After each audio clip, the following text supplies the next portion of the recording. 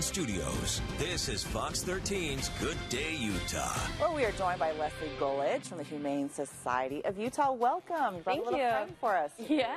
Leslie.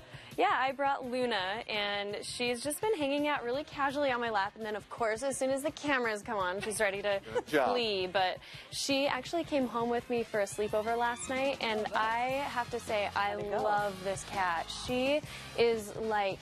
You know that like annoying friendly cat? Like she just wants to be rubbing up against your leg all the time. She instantly starts purring when you pick her up, and This is she's really sweet disposition. so sweet. And As long she as met not cameras in the room. Right, of course, I know. And I always make that disclaimer that they're a little bit different here than they are at home. But I mean, she met my cat and was totally neutral with her. In fact, was like rubbing up against the wall and kind Very of flirting. friendly. Yeah, she met my dog. He's only a three pound chihuahua, but still, you know, a dog, and she was good with him. And um, he was neutral toward her. So I think that she would do well as long as they were neutral toward her.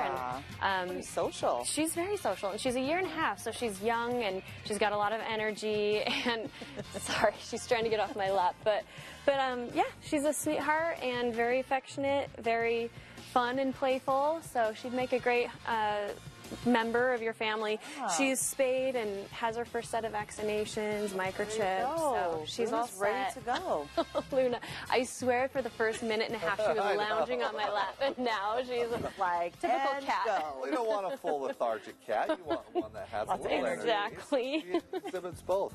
Now tell us, uh, you mentioned something upcoming week, of course, the big Yes. event, Salt Lake Comic Con. Yep. Uh, looking Thursday, Friday, Saturday. You Yep. guys are participating, got some sponsorship and some Yeah. deals for people that are Yeah, so Subaru is sponsoring us, and we're really excited because um, if you right now go to saltlakecomiccon.com and put in the promo code SLCCHSU for Salt Lake Comic Con, Humane Society Utah, um, you will get 25% off your purchase, and then 15% of that will go toward the Humane Society of Utah Wow. as a donation. Oh, So you a discount and you give back. Yeah, yeah. So go to saltlakecomiccon.com and make SLCCHSU. Yes, 25% that's the off. promo code. Uh huh. And you can find that on our Facebook feed too if you follow us on So Facebook. So stop by at Comic Con. You guys will have some fun things planned, and Yeah. Luna's ready to go. Yeah, she's Like, Any, rearing to go. any celebrity pets uh, signing autographs? Yeah, we'll have some celebrity pets some there, pictures, and of course there'll be photo ops. celebrities too. That's so, right. Yeah.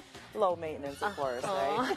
well, we appreciate you stopping Yeah, by, Leslie. thank so if you. you are interested in Luna, there's the information available right there on your screen. Thanks so much for joining us. Have a good weekend. See you later.